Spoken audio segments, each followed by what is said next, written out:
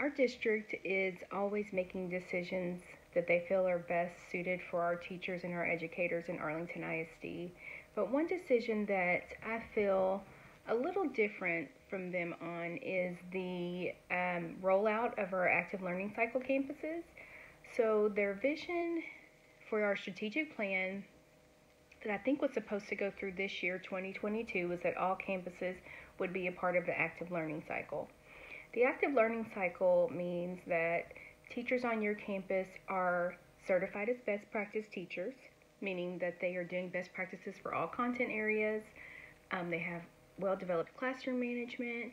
They also are utilizing rubrics, differentiated rubrics for their instruction and their teaching, along with pulling workshops or small groups throughout the day.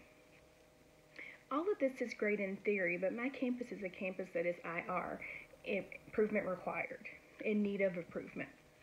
So, this decision, even though we are trending to come out of IR this school year, is a, a big impact, has plays a big part or impact on my campus.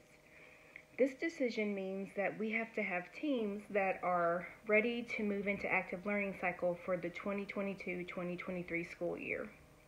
I do not feel this is a great move for our leadership or our teachers or our students on our campus because our teachers are still working on strong tier 1 instruction and reteaching skills that need to be retaught when students are not mastering that tier one instruction.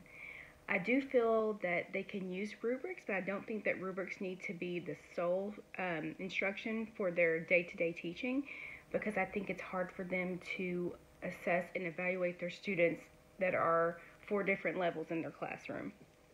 I feel like they could just take the gradual release process of modeling what the instruction or the lesson should look like then breaking off and doing guided practice with their students, and this allows them as a teacher to go around and facilitate the, the learning, and they can capture anecdotal notes for students who are mastering and not mastering a skill. Then, when it's the you do time or independent practice time, they can pull students to their small group table.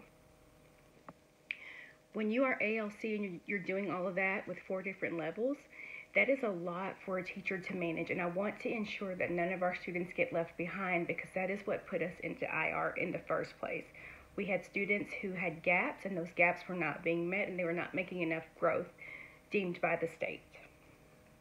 So I think in theory, ALC is a great idea, but I think that sometimes we have to scale it back and look at each campus as its own individual entity, not look at everybody as a whole.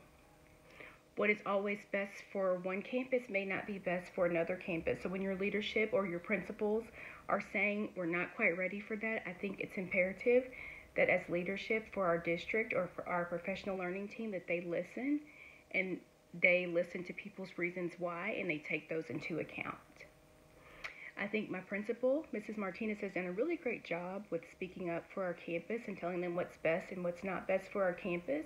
And because she comes with solutions and she brings evidence and data to the table, they really do listen to her. So I'm hoping and praying that our district professional learning team and um, our district leadership will listen to her in this case and let us get out of IR and make sure that we can ensure that we do not go back into IR and we continue to grow our students. And then once we're out and we know that we're good and our data keeps trending up, we can add another support like ALC to our campus to support our students.